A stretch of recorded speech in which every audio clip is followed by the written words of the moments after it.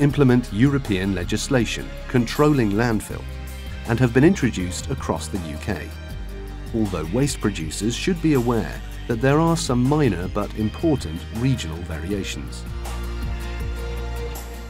Waste destined for landfill must undergo treatment to reduce its potential environmental impact.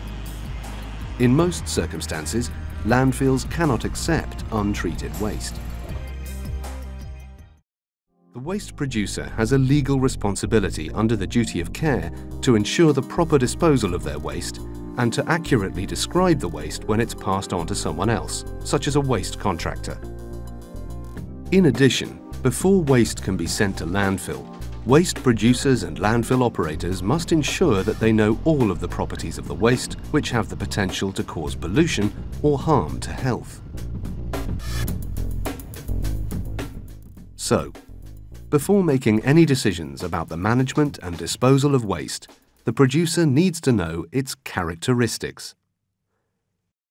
Characterization of the waste is an essential first step, as it will influence how the waste is packaged, transported, handled, treated, recycled, or disposed of. This means considering questions such as what is it composed of? What's the physical and chemical nature of the waste?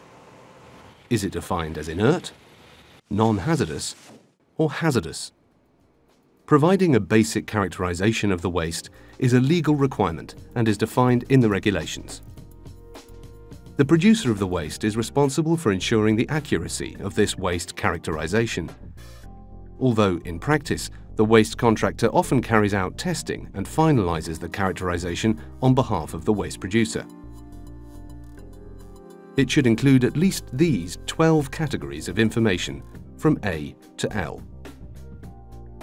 With the help of the Environment Agency, we're going to go through each section step by step.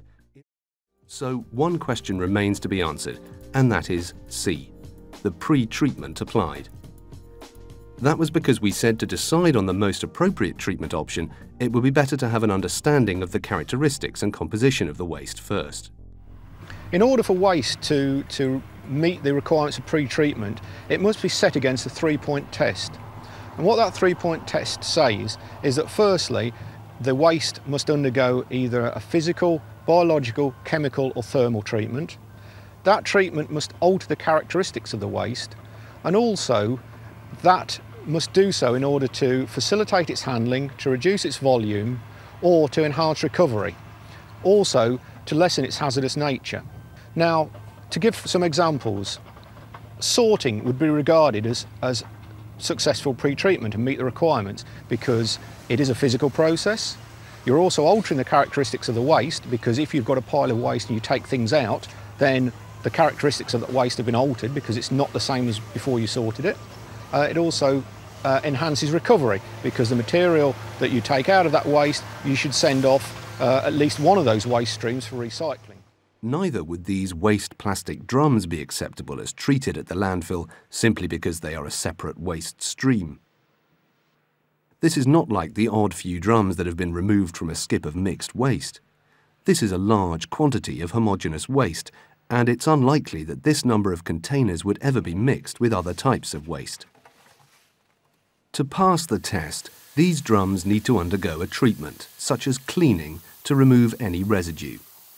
This is a physical activity which will change their characteristics and enhance the potential for recovery, as clean drums can be safely recycled, which is the whole purpose of the legislation. If you've had to put in this amount of effort, you might as well recycle the drums anyway instead of sending them to landfill. In practice, and to ensure compliance with the landfill regulations and the duty of care, Everyone involved in the decision to send waste to landfill should know where and how it will be treated.